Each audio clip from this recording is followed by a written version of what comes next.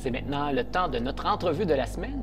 Nous recevons aujourd'hui Marc Boisclair, qui est le cofondateur et rédacteur en chef du site Horreur Québec. Alors, Marc, bonjour. Salut, Jason. Ça va? Bien, toi?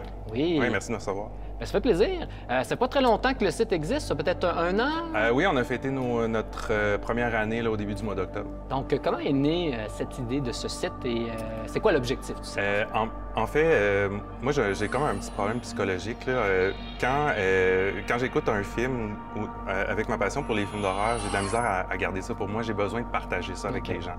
Puis, euh, dans mon entourage, j'ai pas beaucoup de gens qui s'intéressent à ce genre-là. Donc, euh, euh, d'où l'idée de, de créer une plateforme un peu pour réunir des gens pour, euh, pour discuter de, Du cinéma d'horreur avant tout ou... Euh, oui, c'est un, c'est un- un domaine qui est assez vaste, puis c'est- le domaine qui me passionne plus que la science-fiction, que le fantastique.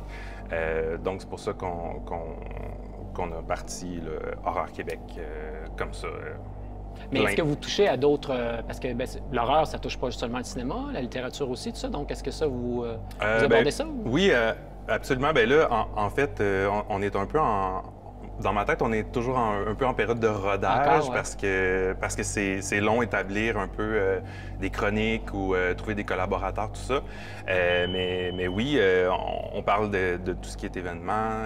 on, va, on va parler de, si l'occasion s'y prête, on va parler d'art visuel, on va parler, ben, comme tu dis, on, on parle déjà de littérature aussi. Ben oui, j'ai vu qu'il y avait une critique, entre autres, d'un livre qui ça fait longtemps qu'il est sorti, La mémoire du lac de Joël Champetier. Oui, c'est ça. Vous parliez de Solaris, qui n'est pas une revue qui, qui aborde seulement la science-fiction. Oui, non, c'est vrai. Donc, il y avait quand même des éléments au niveau de la littérature. On parle d'art visuel, tu sais, il y avait une...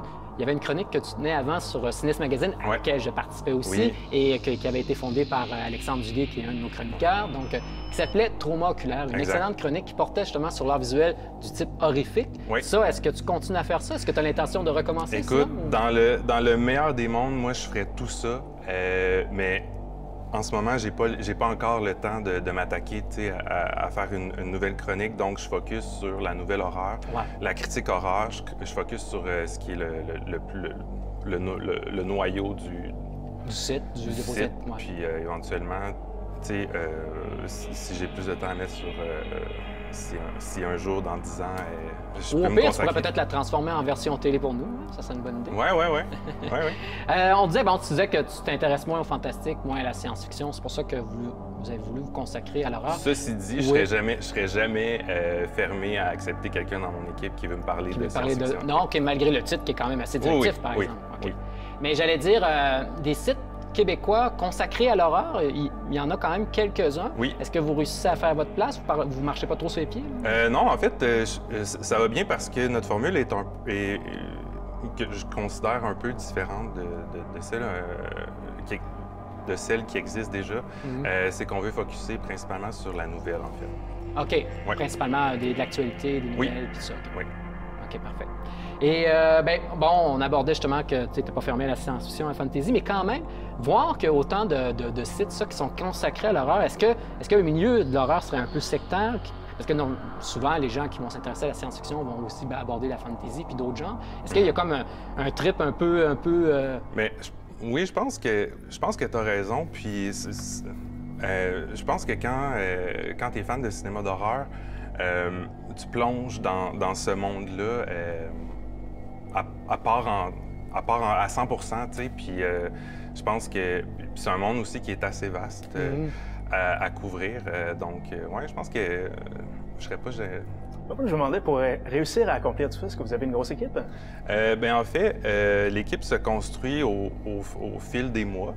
Euh, on est présentement sept, peut- peut-être bientôt huit, à jouer un peu là-dessus. Donc, euh, ouais, on, est, on est une petite équipe. Excellent. Puis là, euh, déjà, après un an, est-ce que vous avez une certaine source de revenus pour être capable de financer vos activités ou c'est comme encore autofinancé? puis? Non, c'est autofinancé, puis on, on se fie, tu sais, à- à- aux, euh, aux fournisseurs qui veulent bien nous envoyer leurs livres, ou euh, justement, tu parlais de Solaris, qui nous Mhm. envoie leur, euh, leur revue, ou, euh, au, euh, au festival qui, qui va nous- bien nous accorder une, une passe pour qu'on parle d'eux. Donc, Oui, euh, OK. ouais, Donc, c'est ça. selon un petit peu les acteurs du milieu. Mais est-ce que vous avez quand même de la publicité un petit peu pour financer? Parce que vous êtes des bénévoles, mais pour moins Ouais. financer l'hébergement du site, ça, est-ce que vous avez de la publicité, quelque chose qui. Non, pas encore. Euh, c'est peut-être quelque chose qu'éventuellement on va mettre sur pied, mais euh, les gens qui écrivent, euh, qui écrivent pour nous, puis, puis moi, en fait, c'est simplement que par, pour la, par passion, pour la passion euh, Ouais. du genre.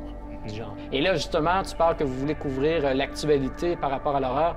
On- pendant qu'on enregistre l'émission, c'est octobre. Vous ne devez pas manquer d'événements à couvrir Ouais, en ce moment. non, euh, en ce moment, c'est assez une période, euh, c'est c'est un mois assez intense. Ouais. Ouais, réussissez-vous à fournir un peu? Oh, oui, ça va. Ouais. Ouais. Puis au niveau de justement de, de- de l'impact au niveau des acteurs, on- je parlais des acteurs du milieu parce que sais, souvent quand on va aller dans des festivals, faire des critiques, on cherche à avoir des accréditations. Mhm. Des fois, quand notre nom n'est pas encore tout à fait connu, c'est plus difficile. Est-ce que là, vous réussissez à, justement à, Euh, avoir ce contact-là avec les événements de Montréal? Ben oui, euh, en fait, ben, ça m'a beaucoup aidé aussi d'avoir euh, collaboré avec Cinest Magazine à l'époque. oui, ok, tu avais déjà une J'ai référence. des contacts un peu, je connais les gens qui organisent les festivals maintenant. j'ai des amis, je me suis fait des amis aussi par la bande, des amis qui sont dans le domaine, qui sont des réalisateurs ou qui. Parce que là, vous venez, il vient- vous venez de faire le FNC, le Festival de Oui, c'est ça. Est-ce a que tu as une- vu des trucs intéressants par rapport à l'horreur? Euh, j'ai été un peu. euh, j'ai vu des, des trucs bien au FNC, euh, mais j'ai rien. Il n'y a rien qui m'a jeté à terre là, com- comparativement aux autres années. en- en- mais ouais, on a, on a couvert FNC, puis.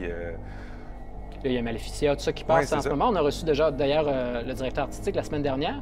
Et là, euh, euh, vous avez organisé aussi le 29 octobre un party d'Halloween. Oui. C'est le premier événement que vous organisiez avec Horreur Québec? Oui, oui, c'est- c'était notre premier événement, puis c'était assez rapide, en fait, comme, euh, comme processus. Tu sais, ça fait juste un an déjà, on organise un premier événement. C'était pour fêter votre première année, justement? Ou... Euh, non, en fait, c'était un peu, euh, un peu dans le but de peut-être euh, voir si on pouvait financer certains, certaines parties de l'hébergement ou tout ça. OK. Euh, J'ai euh, le cofondateur qui, est- qui est avec moi, David Magny, a souvent organisé euh, ce genre d'événements-là, puis s'y connaît un peu euh, dans le domaine, tout ça. Euh, on a eu la chance d'avoir euh, les gens de... euh, le Lab qui- Secret qui a Le Lab participé, entre autres, oui. Christian Page et je sais pas c'est qui euh, l'animateur qui est avec lui, mais Oui, Eric ils ont fait un, un tournage d'un de, Oui, de ça. leurs épisodes. Oui, oui, c'était très bien. Puis, euh, ouais, c'est ça, fait que ça nous a fait euh, en- ensemble une belle visibilité. Puis pour ouais. ceux qui ont raté ça, est-ce que vous prévoyez organiser d'autres événements au cours de l'année ou Euh, l'année prochaine? Oui, en fait, euh, on aimerait en faire un événement annuel, notre party d'Halloween, puis euh, rendre ça euh, un peu plus gros euh, d'année en année. Là, ouais.